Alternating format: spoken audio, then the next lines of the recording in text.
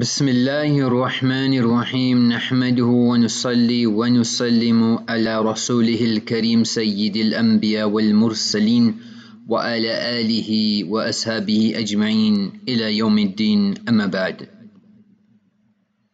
Privacy is power. What people don't know, they can't ruin.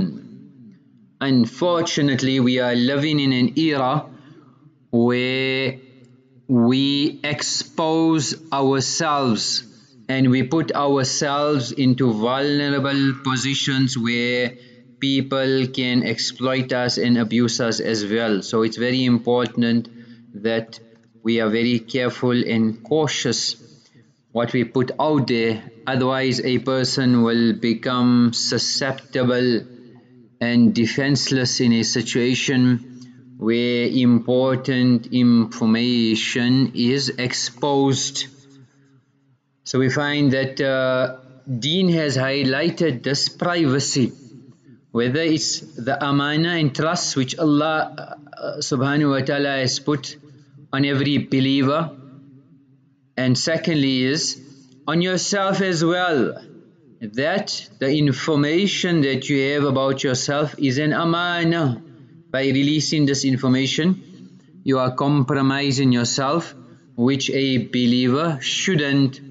Look at the incident of Umar radiallahu anhu when Hafsa radiallahu anha was proposed to Hazrat Uthman radiallahu anhu. And he told him, In shi'ta ankahtuka Hafsa, I will marry you with my daughter. So he said, Sa'andur fi amri, I will uh, revert to you فلبثت ليالي ثم لقيني so some nights passed and I met him and he said I will pass on this offer فلقيت أبا بكر فقلت إن شئت أنكحتك If you want Abu Bakr you can marry my daughter فصمت Hazrat Abu Bakr remained silent فلم يرجع إلي شيئا and he was silent So Umar radiallahu says, I was more upset to Abu Bakr radiallahu anh than Uthman radiallahu anh. So some days passed and Nabi alayhi salatu wasalam proposed to her. So when Hazrat Abu Bakr radiallahu met Umar radiallahu anh, then he told him, لعلك وجدت علي حين عرضت علي حفصة Probably you were very upset when you proposed but I never said anything فَلَمْ أَرْجِعْ إِلَيْكَ شَيْئًا and you were surprised and maybe you were upset also so Abu Bakr is giving the reason that there was no reason for me to re reject except أني كنت علمت أن النبي صلى الله عليه وسلم ذكرها the Nabi of Allah mentioned it to me of his proposal and his inclination to that فلم أكن لأفشي سر رسول الله صلى الله عليه وسلم I didn't want to reveal the secret of Nabi عليه الصلاة والسلام and the fact that I didn't want to reveal it ولو تركها النبي Nabi عليه السلام did not uh, propose any uh, abandon that idea then uh, I would have very easily accepted the proposal so not divulging information and keeping information uh, the secret and, and, and, and not revealing it is very important. So he didn't say anything at all. He didn't mention anything. He was just silent. So important keeping others secrets and keeping our own secrets as well so privacy, so the fact that on your gadget, on your phone, on your laptop, you've made yourself vulnerable, that itself is a question mark because that's your amana and you're supposed to keep it as an amana. So deen is clear and when a person doesn't follow deen, they'll have regrets. So at any given time, we follow our shahwat, we follow our desires, we do certain things. Those vulnerabilities will catch up with a person. One is that the worldly system catches up, but one is the system of Allah subhanahu wa ta'ala. So each ayah, each hadith is there to guide us. We need to follow the guidance. Ayah is called ayah. Why? It is a sign, like a sign that's indicating when a person is lost looking for directions, whether he looks at the signs on the road or looks at the sign on the Garmin, the GPS. These are signs to take you to your destination. Quran and Hadith are signs. Tilka ayatullahi natluha alayka. Ayatullahi natluha alayka. These are the ayat of Allah which we recite unto you. So every ayah is a sign, it's a proof, it's a remarkable event, a phenomena that will elude one to Allah Rabbul Alameen. So firstly we have to make sure that we don't have weak passwords. So for a person to, to solve this problem then you get a password manager. So password managers store passwords in a locked vault and allows a one-click access. They can also generate strong unique passwords as well. So, but some issues, one is that the password manager uses a master password for access. If somebody infects the computer with malware and steals that master password, then the entire database is compromised and uh, through key logging obviously they will have a record of every keystroke you make and that's game over so pen testers they see how they can compromise password managers by finding a back door to these managers. And once they crack the password they've got the privileges of the entire kingdom all your treasures. The other problem is that if you lose your master password all your passwords are gone so if you got a lot of accounts and your master password is gone then that's an issue as well. So a person needs to have strong pass phrases not a password pass phrases which has a lot of characters. So ideally researchers say at least at least minimum 20 to 25 characters. So that's whether it's your small your capital your your numbers your your your signs a combination of that. So you get some good password managers but you have to make the call. There's no one rule for everybody. So password safe KeePass id guard but you want an offline password storage whether it's a uh, on a memory stick and it's stored. So it shouldn't be online. You want cold storage. Another important rule is never use the same password twice. It's very difficult but uh, even if a person has a strong password then technology against technology. So password guessing programs like John the Ripper it's free it's open source. It can be downloaded and it can be configured based on the parameters which you want to use it. So these hackers can simulate and possibly identify the combination of the letters the numbers the symbols the parameters until they crack the code so this is a normal average where it can be hacked imagine if there are organizations and institutes that specialize in this. So besides the pass phrases, you have lock screens. So research shows that 34% of Americans don't protect their mobile devices with any security measures at all. So generally people are negligent to, with regards to this as well.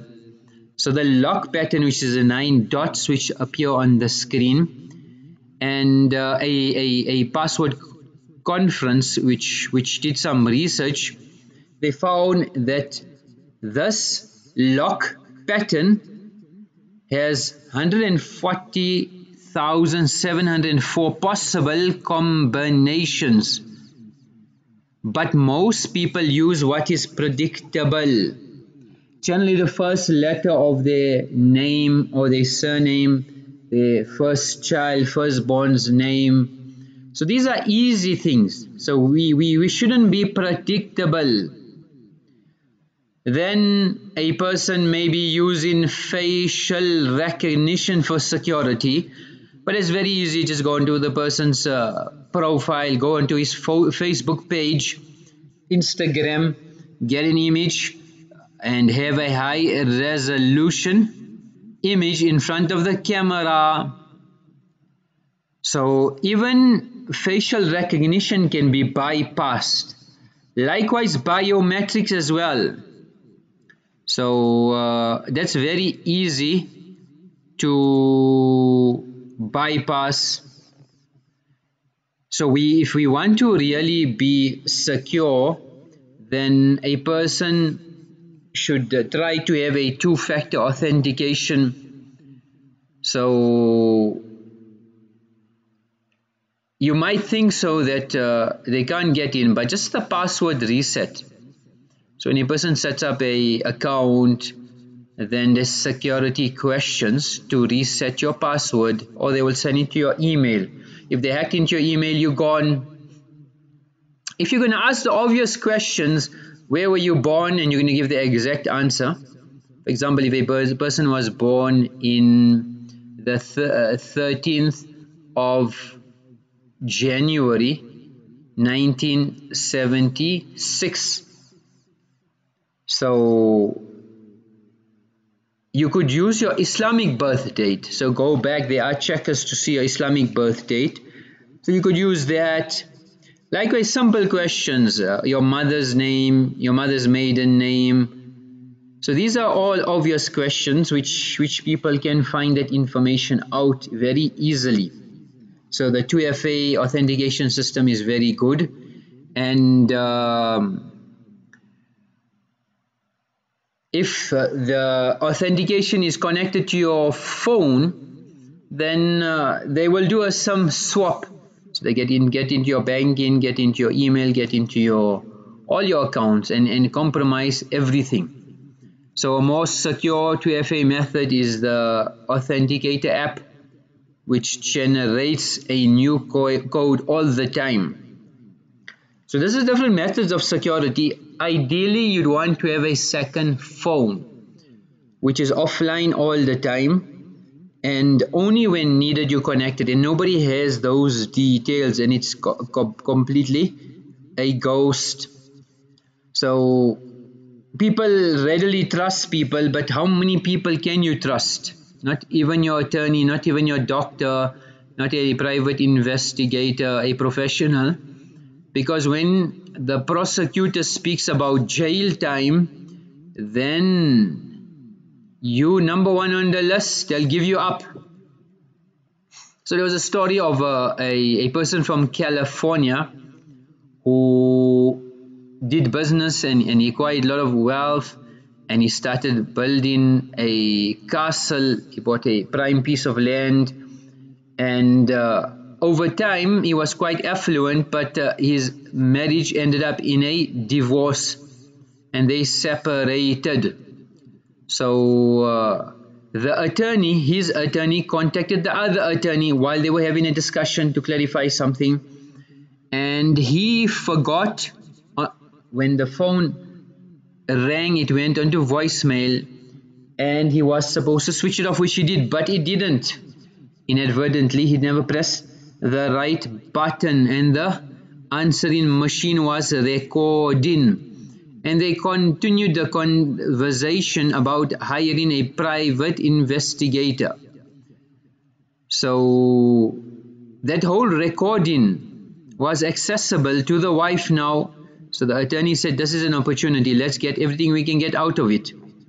So uh, and it was recorded. It was information so this tape went to the FBI, they raided his home and his 50 foot yacht at the marina. He was arrested and uh, besides that, they he had to spend two months in prison and fined as well.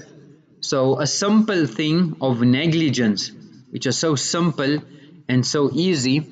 So if the attorney, the private investigator in this case here, the attorney didn't go to jail, the private investigator didn't go to jail, nobody suffered except the man himself. So people will give you away. So you have to be very cautious what information you put out there. Take for example Pegasus. So that in uh, infects a phone through zero-click attacks. Now this is advanced tech where it does not require any interaction from the phone's owner. So somebody who owns a phone they just simply have to dial on WhatsApp and this is amongst the most powerful piece of spyware ever developed by a private company. So once it worms its way to the phone, without even a person knowing, they can surveillance you for 24 hours a day, 365. Copies your messages that you send, receive, harvest the photos, the calls, the records, history, it can even film through the phone's camera, activate the microphone and record conversations. It will pinpoint where you are, where you've been, where you met. So there's a lot of algorithms which have been placed in this to make sure that they will capitalize on that hack. So spyware and uh, governments across the world they license this, this is licensed software by an Israeli company, the NSO group. And it has capabilities of infecting billions of phones, whether it's Android, whether it's iOS. Initially, the original version of Pegasus in 2016 was a bit more lighter where it needed the client, the target, to activate it whether it was through spear phishing, text messages, emails, trick targeted into clicking malicious links. But this is advanced capabilities where they will infect the user with a zero click. There is no interaction required. So it's called zero day vulnerabilities. So the flaws or the bugs in the operating system of the manufacturer they take advantage of those vulnerabilities. So in around 2019, WhatsApp revealed that the NSO software sent malware to more than 1,400 phones by exploiting the zero-day vulnerabilities.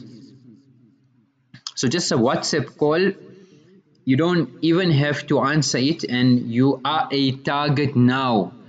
They have full full uh, access to your information.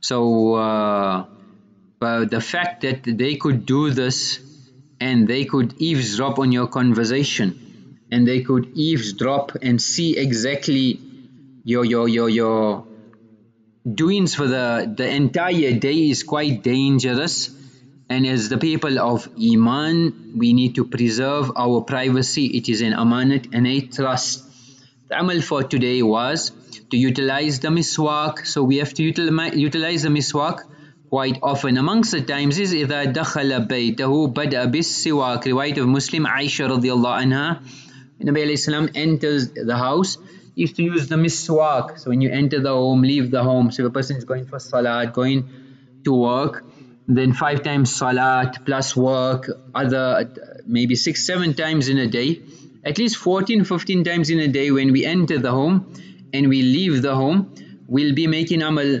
So all these hidayat and guidance that we are told from Quran and Hadith we should make sure that we don't miss the sign the alamat otherwise we will have a lot of regrets follow Quran and Hadith otherwise a person will have a lot of regrets a man came home from work, he noticed his father was avoiding the grandchildren. But the grandfather always plays with the children, is jolly. Now he doesn't. So he asked the father, normally you play with the children, now you don't. So he said that uh, I, I've got a medical prescription. And he showed the son and he said, read the label.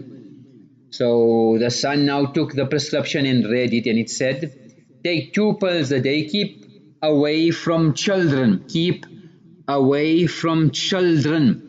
He understood that I should keep away from children, whereas it wasn't the point. So Quran and Hadith, if we interpret it wrong or don't practice on it, we will have regrets. May Allah give us tawfiq of making amal wa akhiru da'wana and alhamdulillahi rabbil alameen.